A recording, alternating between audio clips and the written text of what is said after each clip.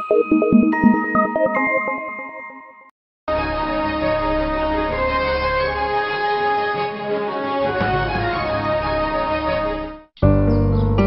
upon a time, in a thick forest, there lived on a banyan tree a sparrow with her husband. They built a nest and the sparrow laid her eggs in the nest.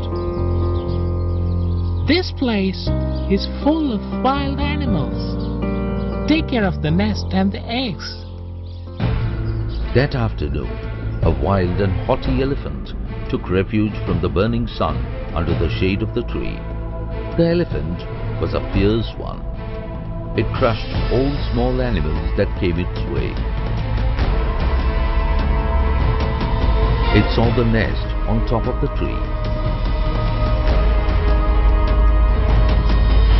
Suddenly, in a fit of rage, the elephant broke a branch of the tree on which the nest was built. All the eggs of the sparrow got crushed, though it escaped unhurt. What will I do now? All our eggs are crushed. Calm down. We will move from here. How can you say that? The elephant destroyed our nest and our eggs wantedly. I saw him looking at the nest. He broke the branch and crushed our eggs. I will kill the elephant. How can we kill an elephant? Even wild animals cannot do that. A woodpecker, a close friend of the she sparrow, heard her crying and was moved by her grief.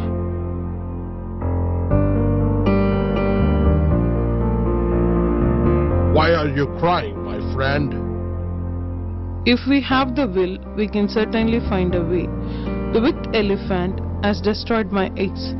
If you are a true friend of mine, suggest a way to kill him. Don't worry. That elephant is a menace to everyone in the forest.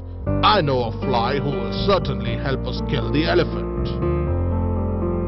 Both of them together went to seek the help of the fly. Dear fly, this is my dearest friend. A wild elephant has crushed her eggs. You have to find a way to kill the elephant. We need your help. One of my friends is a frog. Let's go to him and take his help too. He is very clever. The she sparrow, the woodpecker, and the fly went to the frog and narrated the whole incident. What can an elephant do in the face of a united group like us? We will succeed. Do what I tell you.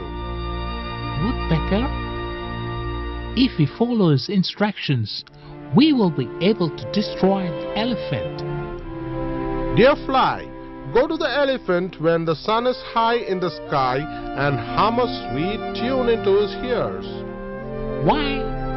Listen, when he closes his eyes in delight, the woodpecker should scoop his eyes out, he will become blind. Wonderful. He will then feel thirsty and look for water.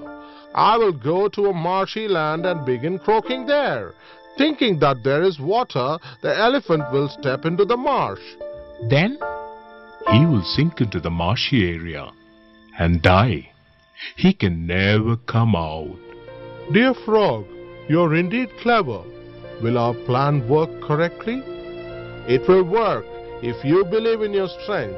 If you doubt, don't take up this job. We all will be killed. We believe in your words and we have the confidence that we will win. The next day at noon, all the three played out the plan. The fly went and sang to the elephant.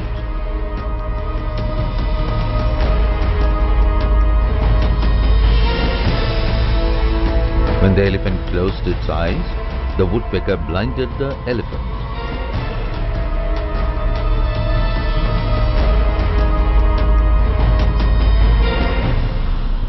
The elephant then began to search for water.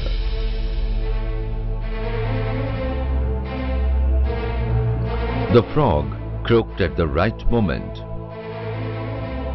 The elephant plunged into the marsh and was drowned.